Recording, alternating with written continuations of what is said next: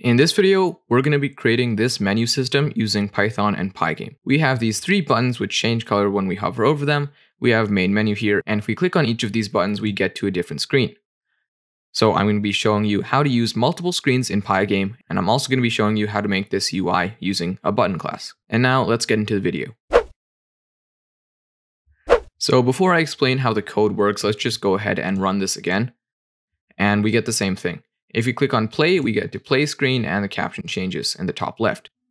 If we go on options, the same thing happens. We get this is the options screen and the caption changes again. Obviously, play would normally be your game, but I didn't want to make that for this video, obviously, so it's just a placeholder. Now, if we press quit, we're obviously going to quit the program like we would normally. And yeah, that's basically it. Now we're going to tackle the question, how do you use multiple screens in Pygame? And fortunately, the answer to this question is super simple. To use multiple screens in Pygame, use multiple functions with their own game loops. So main menu here is the function that creates this menu system, options creates this, and play creates this. Under each of them, they have their own game loop that says while true, and all of their code is written inside of this game loop. Now the trick I'm using here to give the player an illusion of different screens is I just fill the screen with black and then I put all of my stuff over that so the player doesn't know that I just covered up the previous stuff. If I were to remove screen.fill black and run my code again, now if we go to play, as you can see we have all of our main menu stuff again. All I'm doing to give the viewer an illusion of a new screen is filling it with black. It's that simple. Let's go ahead and change it back to what it was before. So that's the question answered. That's how you use multiple screens in Pygame. Now, if you want to stick around and see how the UI was made, you can do that right now. So let's start out with main menu. The first thing we do in main menu is we set the caption of menu, and then we have our game loop. And the first thing we do there is we put our background, which is this, on the screen. Then we get the mouse position because we want to test if we're pressing a button or we're hovering over it. And we put the text main menu on the screen. Next, we create our three buttons using the button class. And this button class is actually something I made like eight months ago.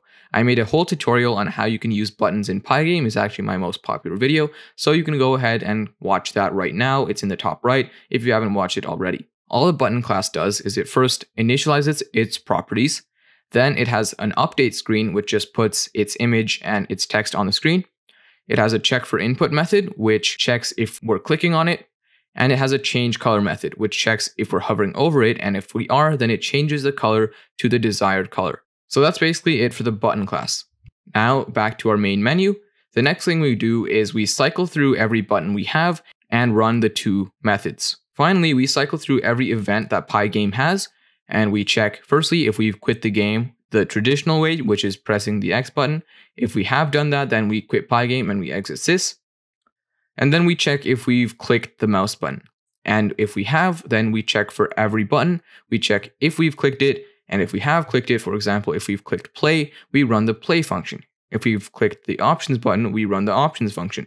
And if we click quit, we say the same thing as we did up here, just pygame.quit and sys.exit. Again, this is how you use multiple screens in Pygame. You just run the function that you want. Now, if we go ahead and check out the play function right here, once again, we have our game loop. We have a caption that says play, and we fill the screen with black. We create our play text, we put it on the screen, and then we create our back button and put that on the screen as well. We call change color and update on our back button, and we do the same thing with events. We check if we've quit the traditional way. If we have, then we quit the game. And we check if we're pressing the back button. If we are, then we call main menu again, and we do the same thing in main menu.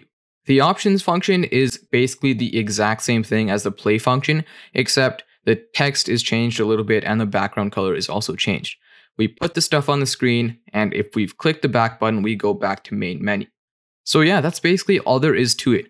This was just a super quick tutorial on how you can use functions to use different screens in Pygame.